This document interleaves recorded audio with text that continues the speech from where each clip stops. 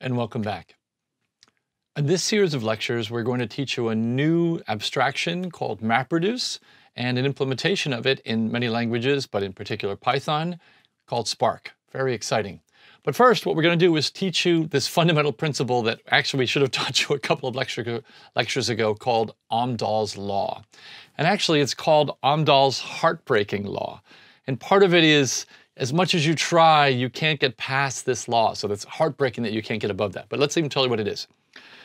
So the model is the following. You have some enhancement. You want to upgrade your GPU, upgrade your memory, upgrade some part of your computer, upgrade some part of some system. It actually isn't even, this law applies to anything. It doesn't actually even limited to computers. So the model is the following.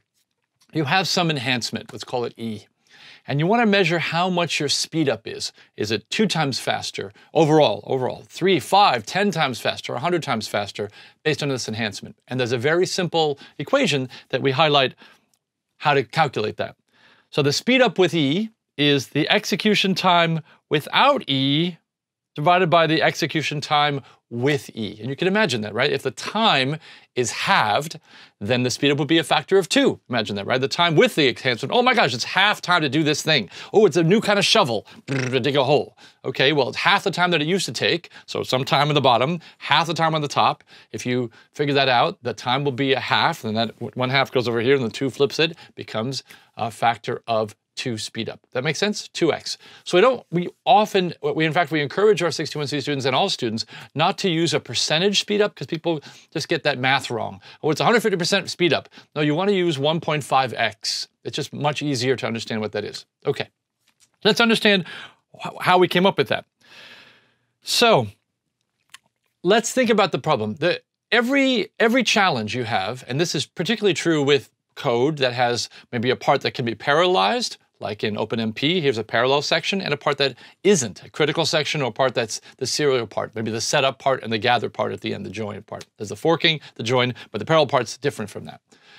So here's, here's what we're gonna say. We're gonna say the enhancement E doesn't affect a portion S. So a portion S, like a fraction. So S is a fraction. These are all fractional parts. S of a task. Okay, again, this is, this is larger than just computer science and computer engineering.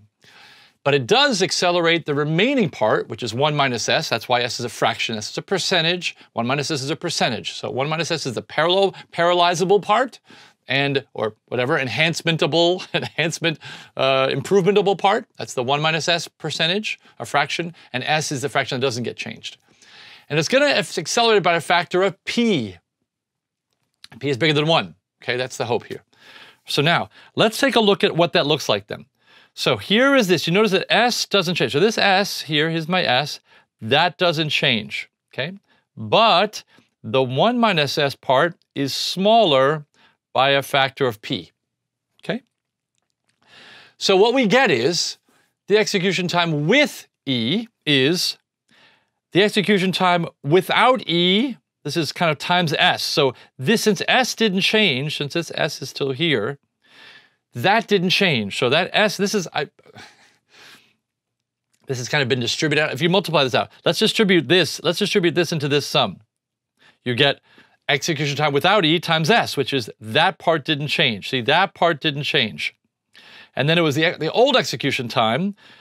The parallelizable part is this fraction. It's the old time. It's whatever this time was, which is the execution time of there, times the smaller fraction, which is 1 minus s over p.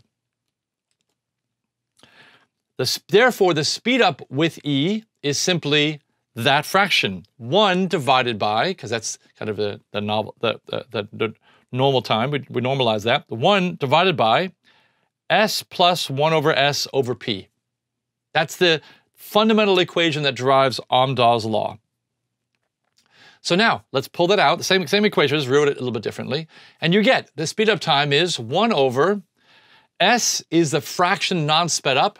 1 minus s over p is the fraction that is sped up. And in the perfect world, as the speed up factor goes to infinity, if I have a million cores, a trillion cores, a trillion helpers working on this, that term goes to zero. And you're left with 1 over s. And that's it. So the speed up can be no bigger, and in fact in the perfect world is equal to 1 over s. That's it. Where S, remember, S is the fraction, that's the serial part. All right, let's do this together. For example, the execution time of 4 fifths of a program can be accelerated by a factor of 16. That's pretty good. 80% of, a, 80% of the code is parallelizable, think about that, can be accelerated by a factor of 16. That's awesome. What's the overall speed up? Am I at 16? Am I 50? I can't be bigger than 16. Am I 15? What's the kind of hit? What's the hit I took in that I didn't speed up the whole program? So let's work it out. Well, it's 1 over what's the fraction that is serial? Well, that's 20% or 0.2. What's the fraction that's parallel? 0.8. Well, that 0.8 is going to be 16 times faster. So that's now 0.05. So 0.2 plus 0.05 is 0.25. 1 over 0.25 is 4. You put all this money into a 16 time improvement, but at the end of the day, you only had a 4 times improvement? Heartbreaking. That's the reason we call it Amdahl's heartbreaking law. So as we look at this, here again, here's a piece of code. Here's again, S is S and P, S and 1 minus S, or the parallel part. Well, yeah, parallel part is all are always fractions, okay? So here I look at this original time. I have a piece of code that's mostly parallel. We're doing pretty well. And every time I add more cores to this, this is the number of cores I'm going to have here every time I add more cores, I'm going to shrink this parallel part by that factor. So now this yellow guy is half as high, and this yellow guy is a third as high, and this is a quarter as high. I try to do the graphic that way, but that's the idea. So as I look into the number of processors, what I see is, depending on the parallel portion, I have different curves for how, you know, in the perfect world, how much speed up I can get. So if the parallel portion is only 50% of the code, well then the serial part is a half, and therefore I only have two times speed up. So I could have an infinite number of processors and only have double speed up. That's amazing, infinite number of, of cores. Well, how about 75%? If 75% is parallel, then a quarter, think about that, then a quarter is serial. That means only a four times speed up. The next curve says, how about 90% parallel? Well, that means a tenth, and therefore 10x speed up. How about 95%? Well, that's only that's only uh, one one twentieth uh, is serial, therefore it's only 20 times. So 20 times is pretty good, but you have to almost get to 95% parallel before you can even get 20 times speed up. Much less, I mean, look at the number of cores. We got 65,000, 64K helpers. Yeah, it was only a factor of 20 faster, and that is Amdahl's heartbreaking law. So, the moral of the story is do all the work you can to have very little serial code, a very little setup code, go parallel for the whole thing if you can, and then very little kind of gather and, and, and join at the end to be able to re release your results. That's the idea. If you want to really maximize it, that it's kind of like the overhead. It's almost like the overhead you paid. I got a business and I have to pay the rent. That's the overhead. All the profit I make, the overhead factors in. So whatever you do, try to reduce the overhead, the serial overhead of your code so that you're almost all in a parallel stage. Try to get to the embarrassingly parallel problem where very little setup, initial, maybe like example, initialize all the, and all the sums. Remember how we were adding to pi together? Initialize them all to zero. That wasn't done in parallel, but although maybe it could be, but that was done in serially. And then compute all the pi's, that's the, the big chunk of the work, and then some small fraction to gather together and sum it together at the end, all right?